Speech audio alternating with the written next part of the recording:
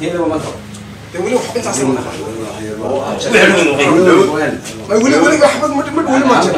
maanta la qabtay inteedaba ma qabo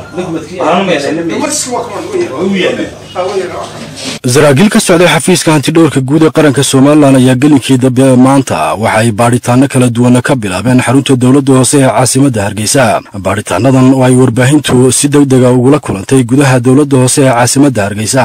Ayaa hantidhowrka guud ee qaranka somalilan waxa ay badiba albaabada u laabeen islamarkaana ay qufullo waaweyn. Iyo qoraallo digniina ku dhashiiyeen qaar ka mid a xafiisyada dowladda hoose ee ka shaqeeyaan mas'uuliyiinta kala duwan ee dowladda hoose ee caasimadda hargeysa. Xafiisyadaasi oo loogu talagalay in subaxda beritaah ay ka bilaabi doonaan baadhitaano kala duwan oo la xidhiidha dhinaca hantida qaranka. Waxaana kormeerkan saraakiishan ka socday hantidhowrka guud ee qaranka oo aanu isku daynay inaannu ka helo warar faahfaahsan isagu nooga warramay. Cali sheekh maxamed axmed oo ah agaasinka baadhitaanada kala duwan ee hantidhowrka guud ee qaranka somalilan oo faahfaahin kooban ka bixiyey baadhitaankan iyo kormeerkan deg deg ah ee ay ku samaynayaan dowladda hoose ee caasimadda hargeysa.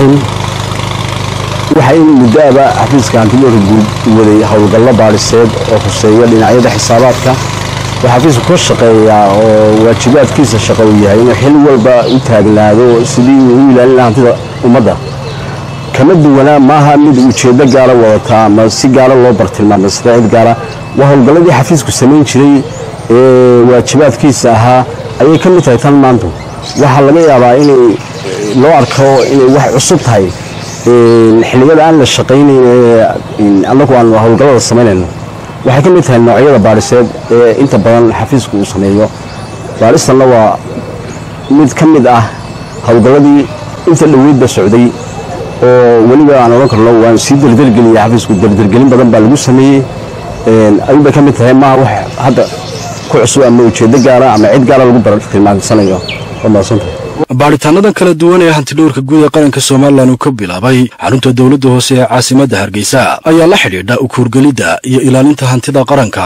Waxaana muddooyinkii u dambeeyey hantidhowrka guud ee qaranka somalilan uu baadhitaano kala duwan ku samaynayey dhammaanba xafiisyada dowladda. Waa axmed almis hargeysa